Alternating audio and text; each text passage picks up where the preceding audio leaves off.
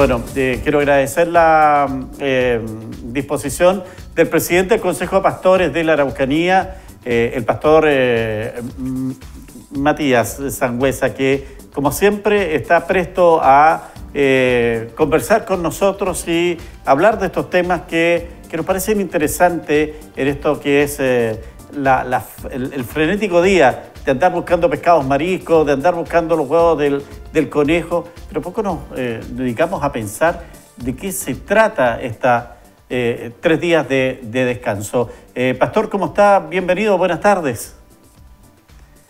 Muy buenas tardes, don Miguel Ángel. Gracias por acompañarnos, Pastor. Muchas gracias por este espacio también de poder conversar a través también de Ufromedios. Pastor, si pudiéramos hacer en, tres líneas, yo sé que es poco, es corto, pero eh, ¿qué significa estos tres días eh, para el mundo cristiano, eh, que evidentemente es el que ha, traído esta, esta, fuerza a este lado del mundo para, para recordar estas fechas? Bueno, yo creo que se pueden mencionar tres puntos y sin duda que en honor al tiempo es muy complejo desarrollarlo pero también tiene relación con la vida, muerte y resurrección de nuestro Señor Jesucristo. Creo que eso es a grandes rasgos lo que es esta semana para la cristiandad. Eh, no tan solo es patrimonio de la gente que profesa la fe evangélica, sino para toda la cristiandad se celebra estos acontecimientos tan relevantes y tan fundamentales para el desarrollo de la humanidad. el desarrollo de la vida de Jesucristo en la escena de esta tierra, su muerte, su sacrificio en la cruz del Calvario y por sobre todo también la resurrección, que entendemos desde nuestra visión cristiana, que está la vida y vida eterna en ese hecho. ¿Qué tiene que ver aquí el no comer pescados? ¿Qué tiene que ver el domingo regalar esta, eh, huevos de, de conejo? Bueno, en ese sentido yo quisiera partir señalando que las iglesias evangélicas y al Consejo Regional al que uno representa, somos muy respetuosos de las actividades y de lo que efectúan diferentes personas que componen esta comunidad o esta sociedad. Eh, no obstante, nosotros como Iglesia Evangélica no practicamos lo que usted me pregunta o, señala, eh, el tema de los alimentos y el tema de los llamados huevos de Pascua. Nosotros lo que hacemos son tiempos de recogimiento, de reflexión, de oración, de encontrarnos en comunidad y reflexionar y agradecer a Dios por su sacrificio, por su vida, por lo que Él hizo por nosotros. Nosotros entendemos que a través de la cruz Él perdonó nuestros pecados y a la vez también nos da vida y vida en abundancia. Es decir, ustedes mañana eh, comen carne, no eh, preferentemente el pescado y marisco, y el domingo eh, tampoco están en la línea de estos regalos que que se han establecido como la fiesta del día del, domingo de entrega de los huevos del conejo. Mire, yo no tan solo podría señalar que mañana, como usted dice, comen carne, sino yo lo que podría decir es que nuestros feligreses en general van a almorzar lo que el Señor provea para mañana. Eh, pero no tenemos nosotros una obligación de efectuar una alimentación una restricción de comer ciertos alimentos en esta semana. Pero vuelvo a señalar, nosotros somos muy respetuosos también de aquellas personas que consideran en base a sus tradiciones religiosas eh, un hecho de abstención de ciertos alimentos y poder comer a aquellos que ellos consideran que deben estar contemplados en una semana de celebración. La Iglesia Católica tiene una serie de, de, hitos eh, que se van desarrollando, como es el día viernes, eh, esta peregrinación que simula lo que fue la, la, llevada de Cristo hacia, hacia la cruz. Eh, también el día sábado de la noche hay una misa de, de, resurrección. En el mundo evangélico, ¿cuáles son los hitos que tienen ustedes preparados también para, para estos días? La iglesia evangélica, a diferencia de la iglesia católica, que tiene por tradición hacer vía crucis, lo que usted menciona, pero también la iglesia evangélica lo que tiene es una, yo creo que es una posibilidad de habilidad desde el punto de vista de que es muy, muy diversa en su procedimiento frente a este tipo de actividades, pero también existe una unidad, no es uniformidad. Y, me lo explico de mejor forma. Dependiendo de las comunidades de fe, también tienen sus propias actividades, sus propios eh, encuentros, eh, sus propios tiempos de reflexión, sus propios tiempos de compartir, pero también me gustaría señalar que hay algo que se repite o se es más generalizado dentro de las funciones que hace la iglesia, que es la cena del Señor o la Santa Cena. Eh, yo creo que en todas las iglesias evangélicas se va a efectuar la cena del Señor, que es la última cena, ¿cierto? Que se, refleja, ¿cierto? Cuando nuestro Señor Jesucristo tiene ese encuentro íntimo con sus discípulos, pero también hay un mandato. Nosotros todo lo que hacemos eh, como iglesia evangélica está mandatado por las escrituras. La Biblia para nosotros es la norma de fe y conducta, no, no existe otra, otra interpretación.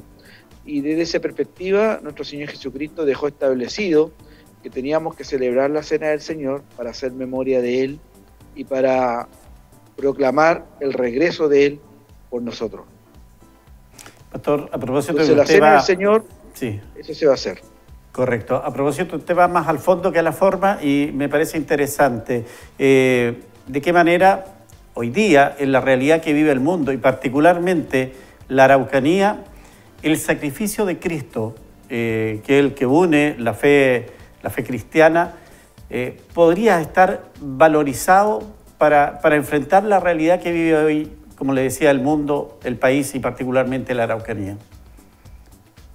Mire, yo le agradezco la pregunta porque uno la respuesta que puede dar es desde nuestra perspectiva de la fe. Nosotros entendemos y comprendemos nuestra realidad social, nuestra realidad como región. Este mal llamado, como yo en muchas oportunidades también lo, otros también creo que lo han podido decir, el mal llamado conflicto mapuche.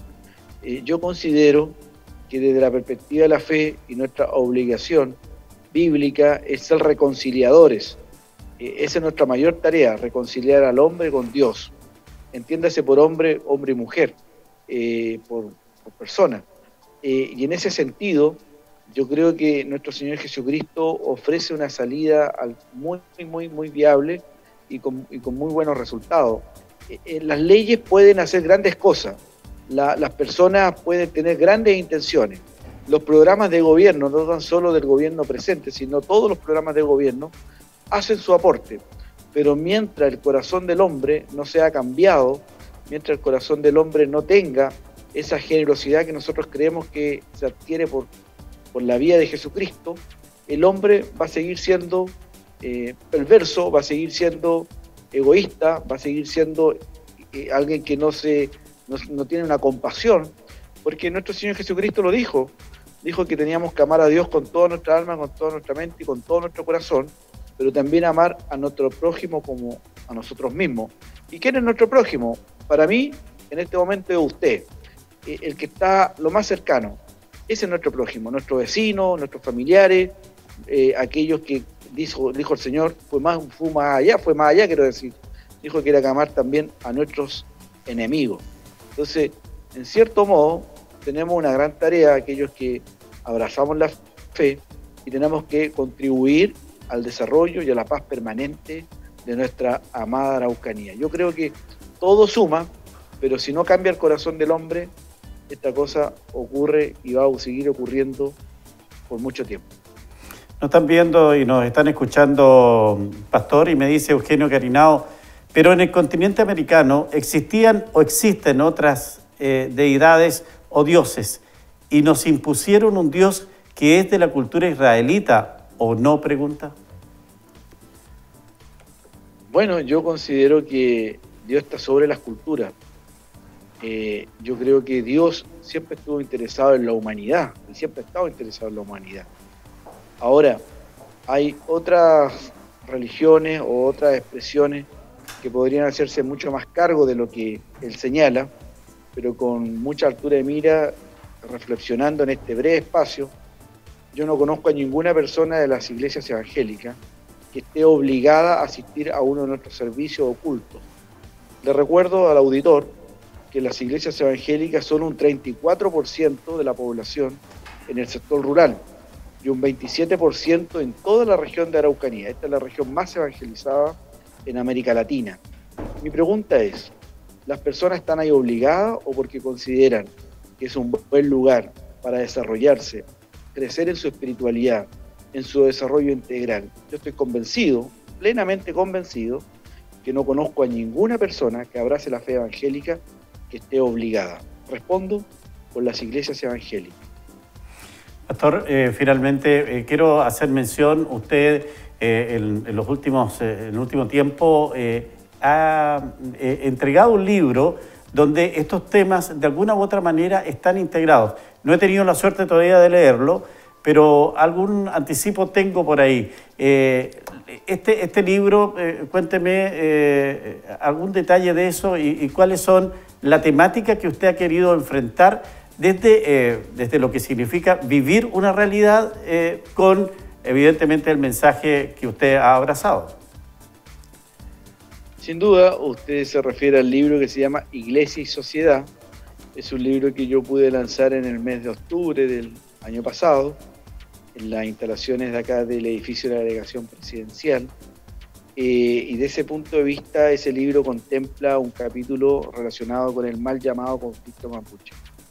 Eh, desde una mirada y desde una convicción también cristiana, pero también ese libro tiene otro elemento que habla sobre el terrorismo religioso, eh, sobre todo un énfasis en el Medio Oriente, tiene una observación sobre la postura sobre el aborto en aquellos tiempos que se estaba discutiendo antes que se legalizara en la comisión de la Cámara de Diputados, la comisión de salud, tiene otro capítulo relacionado con la reforma protestante, cómo los evangélicos, los protestantes, el aporte que han efectuado al desarrollo económico, al desarrollo productivo, al desarrollo cultural, educacional, eh, cómo la reforma causó eh, tantos cambios y ha generado también tanto bienestar a aquellos que han abrazado también la fe. Y tiene un capítulo también relacionado con hermenéutica bíblica, que es un poco más técnico, pero creo yo que también hay un capítulo en relación a, la iglesia, la misión y cómo se interactúa en la sociedad. Muy bien, esperamos eh, conocer mayores detalles de, esa publicación que está a disposición del público, cómo, cómo se está haciendo eso para que quienes estén interesados en saber algo, algo más, eh, de, interesarse y, de leerlo, lo puedan adquirir, eh, Pastor. Sí, bueno, ese libro va a estar en la librería cristiana que está ahí en, en Bulnes, en Bulnes 590, de Sociedad Bíblica. Ahí va a estar el libro. Eh, ya, gracias a Dios, los primeros ejemplares, estamos esperando una segunda llegada de ejemplares para poner a, distribuir, para poner a disposición de las personas que lo deseen adquirir. Eh, escriben también otras personas que están relacionadas con la academia, sociólogos, eh, teólogos también escriben ahí, y historiadores. Así que es un libro desde una perspectiva muy académica, pero también con una mirada también, eh, una conmovisión cristiana, haciéndonos cargo también de la realidad que vivimos como región. Muy bien, pues eh, Pastor, agradecer la gentileza como siempre de, conversar con nosotros estos temas y desearle mm, bueno, un descanso especial de reflexión también. Muy buenas tardes. Muchas gracias y solamente poder expresar que nuestro Señor Jesucristo cuando ascienda a los cielos, Él dijo que iba a estar con nosotros todos los días hasta el fin del mundo. Y en ese sentido quisiera dar un mensaje de esperanza a nuestra amada Araucanía, que los que abrazamos la fe y confiamos en Dios, que confiemos plenamente que Él estará con nosotros y que el Señor los bendiga, que el Señor los fortalezca en todo y a la vez también esta bendición se extienda a su familia. Muchas gracias, don Miguel Ángel. Muchas gracias, Ufromedio. Gracias por considerarnos también como iglesia evangélica para poder opinar. Muchas gracias. Buenas tardes.